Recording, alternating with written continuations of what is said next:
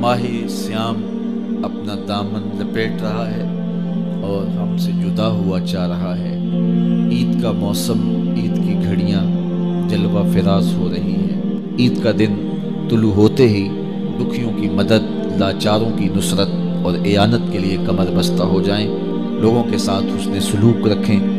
اپنے اطراف پہ غور کریں۔ غربا مساکین، گلی محلے میں، رشتہ داروں میں اعزا و اقربا میں۔